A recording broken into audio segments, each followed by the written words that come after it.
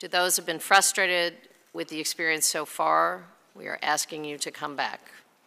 It's now easier than ever to shop for plans and enroll online, over the phone, in paper, in person, or directly through an issuer or agent. With the new marketplace, choice and competition among private market plans is now available to millions of Americans. But our work is not done until every eligible American has the opportunity to access affordable coverage.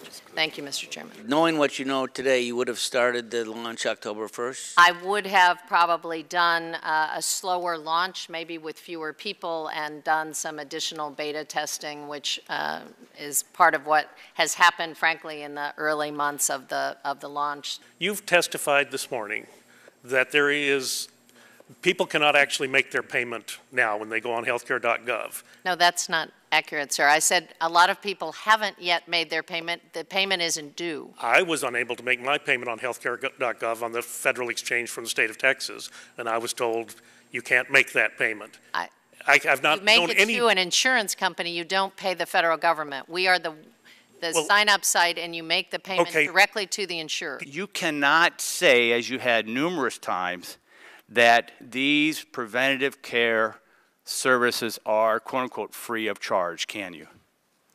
They are free to the consumer, yes, sir. They are not, there is no free lunch, Madam Secretary. I think what a lot of actuaries will right. tell you is if you have preventive care and prevent a more costly hospital stay, cancer. All right, all right, I got it. Down You're the not- line, that that We're cost just is going to agree to disagree. lowers the premium, It- doesn't raise it. it's, It's like talking to uh, the Republic of Korea or something.